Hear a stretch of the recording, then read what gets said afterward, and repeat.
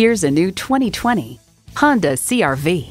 Check out this CRV's fuel efficiency numbers, safety measures, and cargo capacity, and you'll be glad to drive it for the long haul.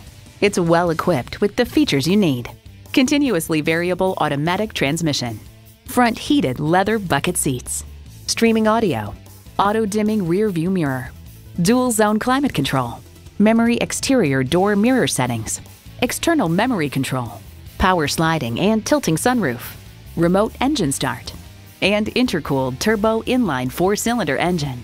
Every Honda's designed with the driver in mind. There's even more to see in person. Take it for a test drive today.